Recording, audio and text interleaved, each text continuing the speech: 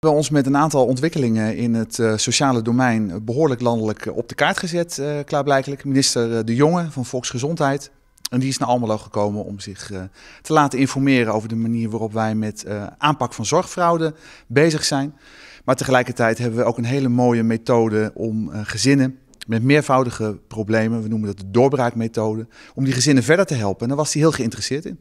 Ja, klopt. We zijn hier in het stadhuis uh, begonnen uh, om uh, samen met contractmanagers, sociaal rechercheurs te vertellen hoe wij die aanpak in Almelo voor die zorgfraude, hoe, we dit, hoe we dat hebben opgepakt. Maar wat belangrijk is, we, we komen vanuit natuurlijk een situatie dat ja, ook de capaciteit, de personele capaciteit uh, niet tot in de hemel uh, groeide. We hebben wel daar als nieuw college ook extra capaciteit voor, uh, voor vrijgemaakt. En je ziet dan dat op het moment dat je echt verdiepend onderzoek kan doen, dat er allerlei zaken bovenkomen. Waarvan wij als college en ik ook als wethouder zorg van, van zeg, van ja, dit kan gewoon niet door de beugel. zorggeld moet worden besteed aan de zorg. En daar waar dat dus ook, ook echt nodig is. Ja, en dan moet je doorpakken op het moment dat je ziet dat dingen niet goed gaan. Ja, die, uh, die rijksmiddelen, zoals wij dat zo mooi noemen. Hè. We hebben in ons uh, coalitieakkoord ook staan, en dat is ook op een gegeven moment de opdracht die is vertaald in onze begroting. Hè, dat wij de komende vier jaar uit willen komen met uh, het geld dat we vanuit Den Haag krijgen. Ja, en u zult ongetwijfeld wel begrijpen dat dat ook een van de thema's is die ik gisteren heel nadrukkelijk bij de minister onder de aandacht heb gebracht. Ja, wat vond u daarvan?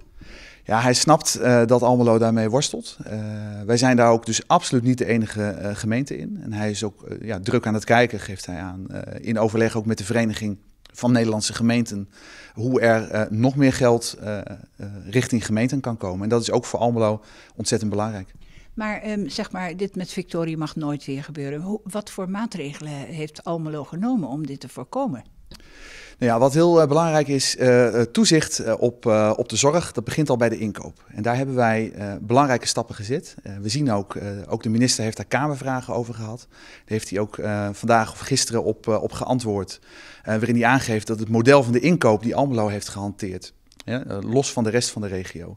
Uh, dat het een aanpak is die doeltreffend is en die er ook uiteindelijk uh, zoveel als mogelijk voor zorgt. Want je kan het nooit van A tot Z uh, dichttimmeren, maar zoveel als mogelijk daarvoor zorgt dat de zorggelden terechtkomen daar waar ze voor bedoeld zijn. En dat dus kwaliteit van zorg ontzettend belangrijk is en daar selecteren wij op aan de poort.